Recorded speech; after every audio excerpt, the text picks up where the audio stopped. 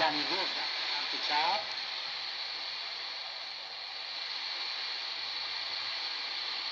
جایی که فابیان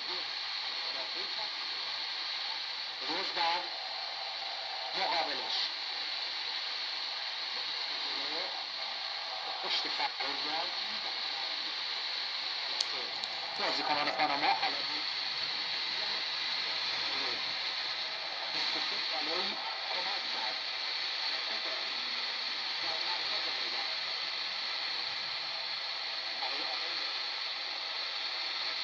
مراقب باشن. به توپ روایی اعلام خطا کار می‌کنه. پاناما. خط زرد. برای مورینیو که تنها خطر جدی در مورد انگلیس کرد دقایقی پشت سر تو خودش لوده استرلینگ رو می‌زنه دو کارته میشه او هم بازی بعدی رو از میده تا مثل